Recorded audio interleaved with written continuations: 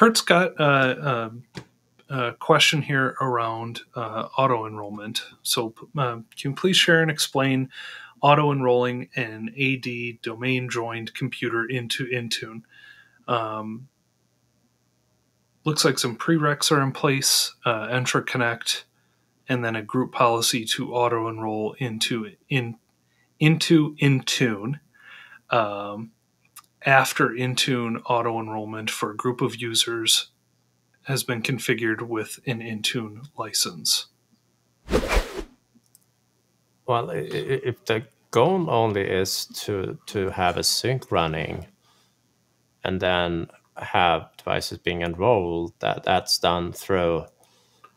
Well, uh, it's called Entra Connect now, but the, the old version was AD Connect.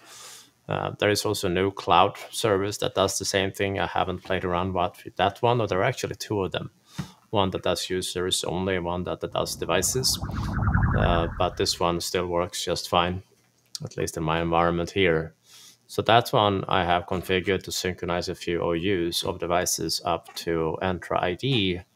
And then I have a policy in play, uh, this one here that will happily try to enroll them uh, into Entra uh, uh, as part of that process. And my tenant is configured to allow this.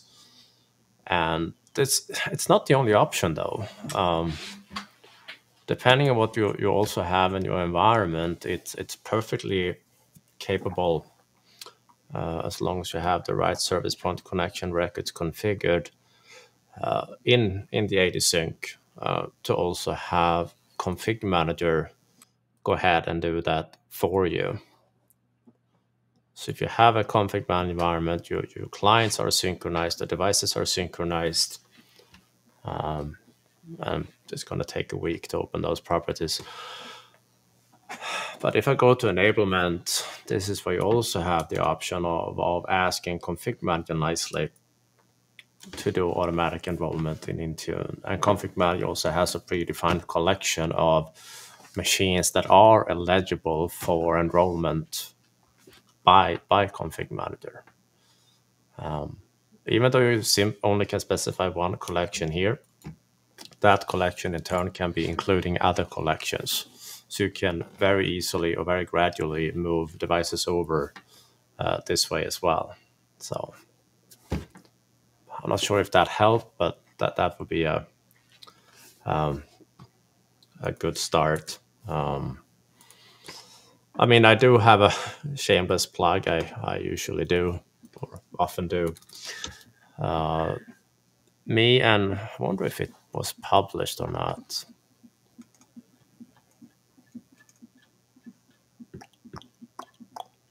Yeah, me and Kent, we're gonna spend three days in September on going through an entire uh, Entra config manager to Intune migration over three days. So that'll be that'll be a fun one, but uh, that doesn't help you right now, I'm assuming. So anyhow.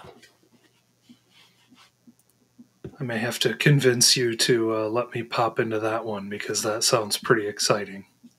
Oh yeah, a special prize for you only. Yeah. Double. I wasn't going to say that publicly, but all right. Yeah. Sorry. Double. Sorry.